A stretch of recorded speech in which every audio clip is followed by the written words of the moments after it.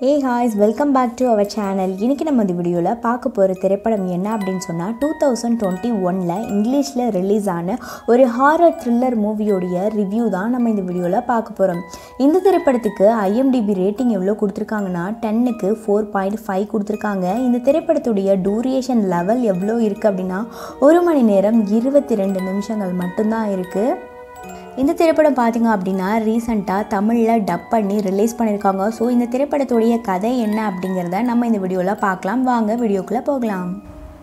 So இந்த video பார்த்து தான் நீங்கள் ஃபர்ஸ்ட் டைம் நம்மளோட சேனலுக்குள்ளே வந்திருக்கீங்க அப்படின்னா மோர் வீடியோஸும் போய் பாருங்கள் அதில் ஏதாவது ஒரு வீடியோ உங்களுக்கு பிடிச்சிருந்தது அப்படின்னா கண்டிப்பாக மறக்காமல் நம்மளுடைய சேனலை சப்ஸ்கிரைப் பண்ணி வச்சுக்கோங்க. அது மட்டும் இல்லாமல் உங்கள் ஃப்ரெண்ட்ஸுக்கும் ஷேர் பண்ணுங்கள் இந்த திரைப்படத்தில் பார்த்தீங்க அப்படின்னா ரெண்டு பொண்ணுங்களை வந்துட்டு மயமாக வச்சு தான் இந்த திரைப்படம் வந்துட்டு நகர்ந்து போகுது.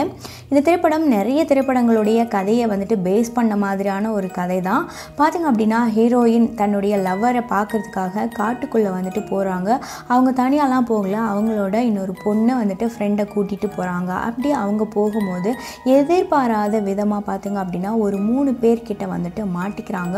ஸோ அதுக்கப்புறம் பார்த்தீங்க அப்படின்னா அவங்க அங்கே மாட்டிக்கும் போது இவங்க ரெண்டு பேரும் அந்த மூணு பேர்கிட்ட இருந்து எப்படி தப்பிக்கிறாங்க தப்பிக்கிறாங்களா அப்படிங்கிறது தான் வந்துட்டு படத்துடைய ஸ்டோரி இந்த கதையை நம்ம கேட்ட உடனே பார்த்திங்கன்னா கண்டிப்பாக அவங்களுக்கு எல்லாருக்குமே தோணிருக்கும். நிறைய திரைப்படங்கள் வந்துட்டு இந்த மாதிரியான ஒரு கதையை வந்துட்டு மயமாக வச்சுட்டு நிறைய கதைகள் திரைப்படங்களில் வந்துட்டு இருந்துக்கிட்டு தான் இருக்குது ஸோ அதே மாதிரியான கதை தான். பட் வந்துட்டு ஒரு த்ரில்லரான விஷயம் வந்துட்டு படம் முழுக்க முழுக்க கொடுத்துருப்பாங்க அப்படின்னு சொல்லலாம். படத்தில் வந்து பார்த்திங்கன்னா ஃபர்ஸ்ட் ஹாஃபில் வந்துட்டு நமக்கு போர் அடிக்கவே ஆரம்பிச்சிடுது ஆனால் அதுக்கப்புறம் பொறுமையாக ஃபர்ஸ்ட் ஹாஃபை கடந்து செகண்ட் ஹாஃப்க்கு போகும்போது பார்த்திங்க அப்படின்னா ஒரு நல்ல பயங்கரமான படத்தை வந்து நம்ம பார்க்குறதுக்காக வெயிட் பண்ணிகிட்ருக்கோம் அப்படிங்கிற மாதிரியான ஒரு ஃபீல் நமக்குள்ள உருவாகுது.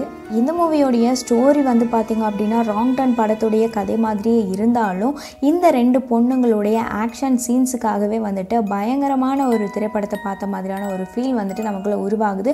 ஸோ வந்துட்டு இந்த திரைப்படம் பார்த்திங்கன்னா இந்த ரெண்டு பொண்ணுங்களும் செய்யக்கூடிய அந்த ஆக்ஷன் சீன்ஸுக்காகவே திரைப்படத்தை வந்துட்டு பார்க்கலாம். இந்த திரைப்படத்தில் நடித்த அந்த ஹீரோயின் பொண்ணை விட ஹீரோயினோட ஃப்ரெண்ட் அப்படிங்கிற அந்த கேரக்டரில் நடித்த பொண்ணும் ரெண்டு பேருமே வந்துட்டு ஈக்குவலான வந்து ஆக்டிங் வந்து பண்ணியிருக்காங்க அப்படின்னு சொல்லலாம். இந்த திரைப்படத்தில் நிறைய வயலண்ட்டான சீன்ஸில் கூட ரொம்பவுமே பயங்கரமான நடிப்பை வந்துட்டு ரெண்டு பேருமே வெளிப்படுத்தியிருக்காங்க அப்படின்னு சொல்லலாம். படத்தை பார்த்து முடிக்கும்பொழுது ஒரு நல்ல த்ரில்லர் மூவியை பார்த்த ஒரு எக்ஸ்பீரியன்ஸ் கிடைக்குது அப்படின்னு சொல்லலாம். ஃபைட் சீன்ஸ்க்காகவே வந்துட்டு படத்தை பார்க்கலாம்.